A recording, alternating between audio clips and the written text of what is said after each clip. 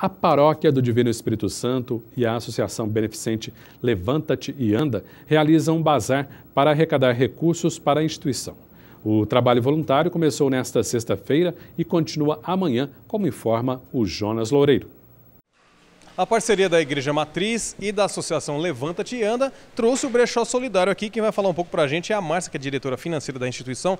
Essas ações são importantes para a instituição, Márcia? Sim, porque é, o dinheiro arrecadado, o volume arrecadado, ajuda né, na manutenção da Associação Levanta-te Anda e nas obras sociais aqui da Igreja do Divino. Eu estou vendo que tem bastante peça aqui e é o diferencial é que é um preço único, né, das peças. Isso, o preço é de cinco reais, tem muita coisa boa.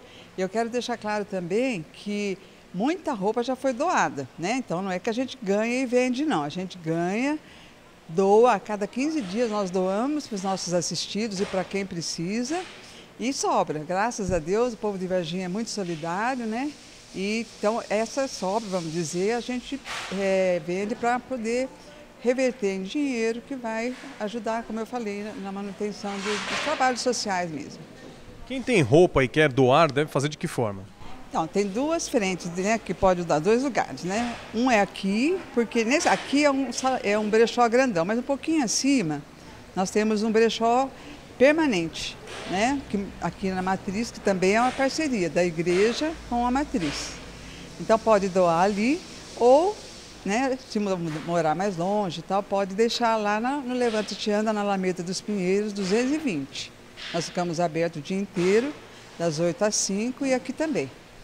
O brechó acontece nesta sexta e no sábado, e tem, além de roupas, calçados também, né? Sim, roupas, calçados, roupa de cama, e tudo a preço de 5 reais. Tem roupa muito boa, vale a pena conferir. Ok, Márcia, obrigado por suas informações. Então, hoje e amanhã, Brechó Solidário aqui na Igreja Matriz, em parceria com a Associação Levanta-te e Anda. Jonas Loureiro, para o Jornal Cidade.